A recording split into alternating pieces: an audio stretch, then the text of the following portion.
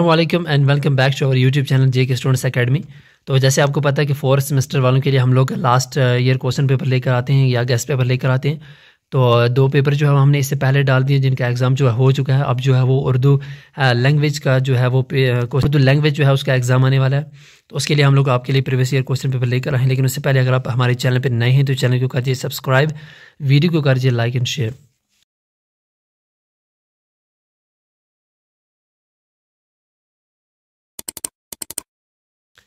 तो चलिए हम लोग बात करते हैं बी जी फोर्थ सेमेस्टर का जो प्रीवियस क्वेश्चन पेपर था, उसके बारे में, जिसमें सबसे पहले आपको सेक्शन ए जो है उसमें आते हैं आपको आठ क्वेश्चन जो कि आठ क्वेश्चन में से आपको आठ के आठ क्वेश्चन जो है वो करने हैं, एक आंसर के आपको तीन मार्क्स से, यानी कि पहले सेक्शन ए में से आपको ट्वेंटी फोर मार्क्स जो है वो दिए जाएँगे। टोटल क्वेश्चन पेपर आपको जो है वो सिक्सटी मार्क्स का, जिसमें आपको मिनिमम मार्क्स जो है वो ट्वेंटी फोर करने हैं।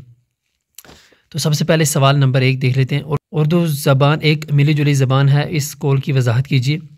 सवाल नंबर दो जम्मू व कश्मीर के किसी ख़ास उर्दू शायर का तारफ़ पेश कीजिए।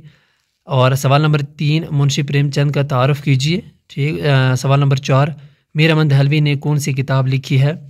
आ, सवाल नंबर पाँच वा, वाजिद अली शाह कौन थे? सवाल नंबर छः मीर अनीस कौन थे? सवाल नंबर सात गालिब के बारे में कुछ तहरीर कीजिए। एंड सवाल नंबर आठ लखनऊ शहर क्यों मशहूर है?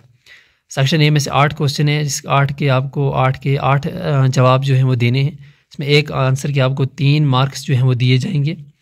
और सेक्शन ए से जो है आपको ट्वेंटी फोर मार्क्स मिलेंगे।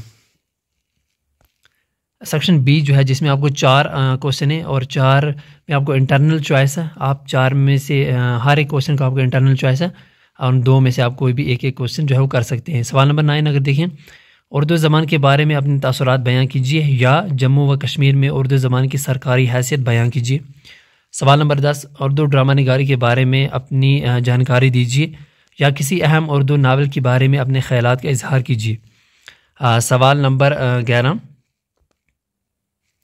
उर्दू नज़म निगारी के बारे में अपनी वाकफियत का बयान कीजिए या उर्दू में इंशाया निगारी के बारे में एक नोट लिखिए। सवाल नंबर बारह, दबस्तान, दिल्ली की चंद नुमाइंदा खूबियाँ बयान कीजिए, या दबस्तान, लखनऊ के किसी शायर पर एक नोट लिखिए। सेक्शन बी है ये, जिसमें आपको पाँच, चार क्वेश्चन है, और चार के चार जो है इंटरनल चॉइस के ऊपर हैं।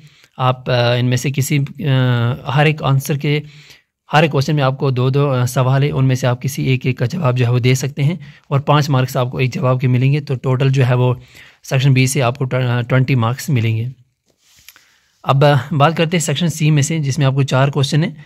चार सवालों के, चार सवाल हैं चार सवालों में से आपको सिर्फ़ दो के जवाब देने हैं और एक जवाब के आपको जो है वो आठ मार्क्स दिए जाएँगे। यानी कि आपको टोटल सेक्शन सी से आपको सिक्सटीन मार्क्स दिए जाएँगे। चार क्वेश्चन है, जिसमें आपको सिर्फ़ दो का जवाब देना है।